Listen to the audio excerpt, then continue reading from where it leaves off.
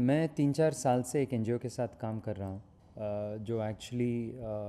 victims of sexual exploitation and trafficking को rescue करते हैं। तो मुझे काफ़ी ऐसे मौके मिले जहाँ मैं इन लड़कियाँ और औरतों के साथ मैं मुझे इंटरेक्ट करने को मिला। और जब मैं इनकी कहानियाँ सुनता था तो मुझे एक चीज़ हमें, हमेशा बार बार महसूस हो रहा था कि ये कहानियाँ कुछ सफरिंग एंड लॉस के नहीं हैं, बल्कि हीरोइज़म के हैं। क्योंकि ये औरतें, ये सब कुछ सहने के बाद भी जिस तरह से बता, मुझे बता रहे थे कि हमारी बस यही इच्छा है कि ये कभी किसी और लड़की के साथ ना हो। हमारे में जितनी दम है, हम कोशिश करेंगे कि विल इंश्योर तो ये बार बार मैं सुनता रहा तो मुझे लगा कि हाँ इस, ये टॉपिक इंपॉर्टेंट है, इस पर कुछ, मुझे कुछ करना चाहिए, पर तभी भी फ़िल्म का कुछ आइडिया था नहीं। फिर मुझे एक ऐसी लड़की के साथ मिलना हुआ जिसकी कहानी सुन के मुझे लगा, ये है हुक। इस पे मैं कहानी बनाऊँगा। और ये लड़की थी चौदह साल की, जो फोर्सबली प्रोस्टिट्यूशन में जाना पड़ा।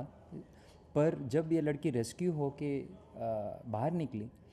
तो इसमें इतनी हिम्मत थी कि वो अपने ट्रैफिकर्स को कोर्ट ले जाके उनको सज़ा दिलवाया, उनको जेल भिजवाया। ये सेंट्रल हेरोइक स्टोरी को लेकर के मैं लक्ष्मी को डिज़ाइन किया। जो सीरियल था that was about a different topic all together उसमें थोड़ी सी लीनियंसी आ गई है, थोड़ा सा एक्सेप्टेंस आ गया है। But women have been suffering from ना सिर्फ़ वो सीरियल के वक्त से सिंस मतलब since the time इन सीता द्रौपदी के वक्त से it's been happening they still have to prove their equality and unfortunately it's so sad कि हम आज के ज़माने में twenty first century and we are still talking about the same fight we are still struggling for the same fight वही है but I can hope that the next generation the generation we are bringing up as parents